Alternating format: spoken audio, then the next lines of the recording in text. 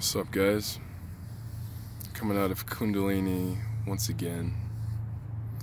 Something interesting that happens after, you know, during the entire process is an hour, and I keep my eyes closed the entire time. If you open your eyes while you're doing this, it will leak your, your energy out, your focus, and everything will go from inside, and you'll start thinking about what you were seeing.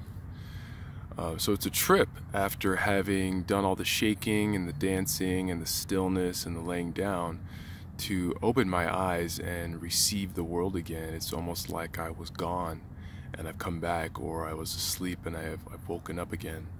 Uh, it's really interesting uh, sensation. And, uh, you know, I'm always laying down in the last stage, so I rise up and I see my legs strewn out before me.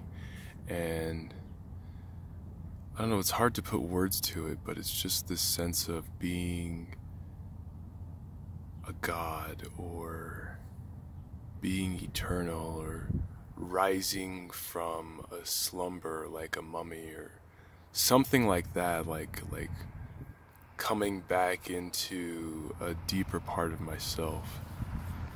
And I feel so much more grounded and present uh, when I you know when I rise up that uh, after the uh,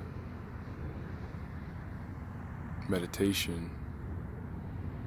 And it's nice it's pretty good.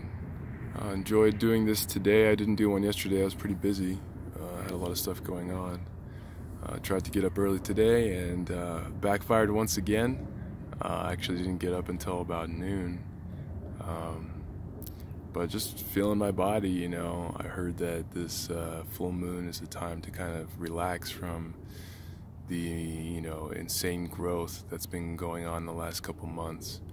Um, so you know if that idea resonates with you, maybe it's time to in the next you know couple days or maybe a week or so just kind of take it easy, do what needs to be done, you know, take care of business, but listen more to your body. If you want to take a nap, do that, you know. Just remember, you know, this is all for fun, so you start taking it too seriously, it just um, kind of ruins it, you know. Um, seriousness is, is only there as contrast for what's not serious. So just remember, you know,